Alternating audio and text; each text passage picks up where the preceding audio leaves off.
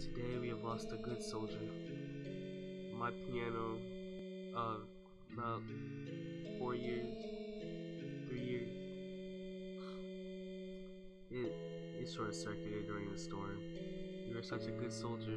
Now every time I play you, and try to play a solid E or an F. You give me like a E, but like it's octave five. It doesn't make any sense to me. But you were a good soldier. I'm gonna miss you. Man. And also, plus, this is all thanks to Hurricane Florence. I hate you. I hope you burn.